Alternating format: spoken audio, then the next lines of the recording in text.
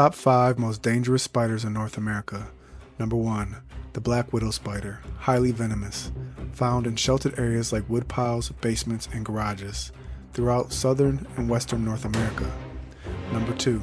The brown recluse spider, highly venomous, found in dark, secluded areas like attics, basements, and behind furniture through central and southern United States. Number 3. Hobo spider, mildly venomous, found in cool places like basements and garages throughout North America, but more common Pacific Northwest. Number 4. The yellow sac spider, mildly venomous, found throughout North America in houses, gardens, and other structures.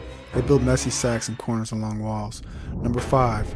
The brown widow spider, venomous, but less potent than black widows, found in southern and eastern United States, often near human dwellings. If you suspect a spider bite, especially from one of these species, seek medical attention immediately, but remember most spider bites in North America are not serious.